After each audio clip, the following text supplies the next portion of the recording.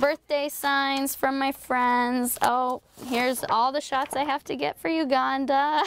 Meet Liz Billman, a sophomore at Indiana University with so much going on she can barely keep it straight. It's a cluttered life that only she knows how to manage. I know strangely where it all is and like I do try to like get it organized sometimes, but um, it's hard. Like this is like a little to-do list. Like sometimes they'd work on these during class and then like these are what I make one at least every night before I go to bed. And it literally has every hour of my day planned out of what I'm gonna do. Every single day. I have to have that or I would go insane. I make those during class when I get bored. when you go to bed.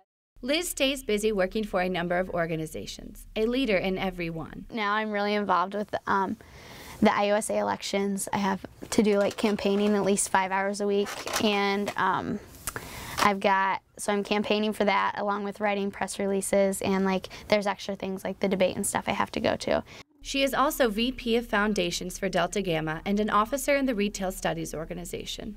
The times it gets the hardest is when I remember I have schoolwork to do on top of everything else. Um, that's when it gets really hard. Like, Liz isn't the only one suffering from self-inflicted stressitis.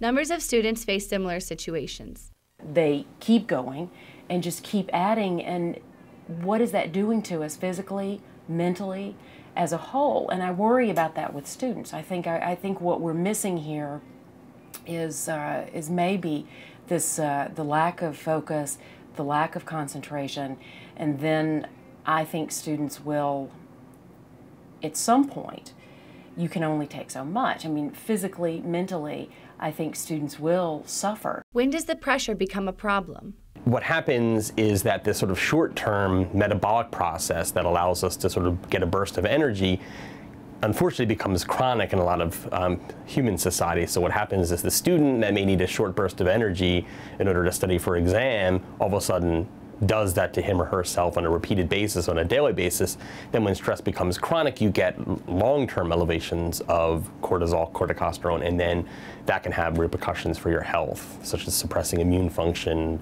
um, disrupting your sleep, all sorts of behavioral effects that sort of were meant for the short term that are now chronic and therefore not, not good for you. The week before spring break, I had so much going on because I was trying to get everything done. Like I'm going abroad this summer and then I'm also taking a trip to Africa. And so it's like I'm trying to get all that done too.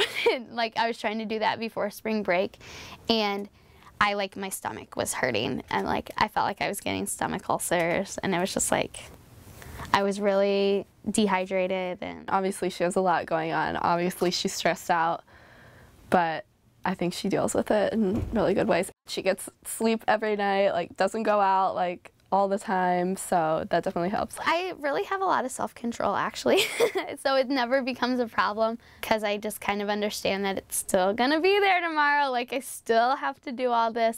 This kind of self-control is hard to find at a college. Many students use drugs and alcohol to de-stress.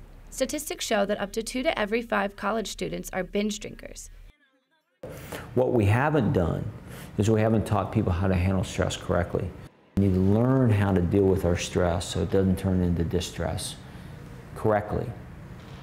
Not popping a Ritalin because you stayed up too late partying the night before and you got a paper due tomorrow. Not drinking alcohol. They fear it is too dangerous and may turn fatal. Alcohol and drugs are the biggest concern at IU. Suicide is a secondary concern because the suicide won't come without the alcohol and drugs. In 2007, 706 Hoosiers committed suicide. Ben Schwartzman was one of them. He took his life at the young age of 19. We see it happen a lot. You see it a lot around midterms, you see it a lot around finals, and you see it a lot at the beginning of each semester. The stress can be overwhelming, but there are ways to overcome it that are safe. The other thing about young people is you'll survive almost anything. So if you can just manage your life a little bit, you'll survive and you'll move on and you'll be perfectly fine. You guys have an incredible recovery capacity. Stuff that you guys do at your age would kill us. You're good. Sometimes I worry about the college experience and what I'm going to tell my kids I did while I was here, but um, I think as long as I get what I want out of my life and I'm doing what I want and it's because of what I've done here, then I'll be okay with it all,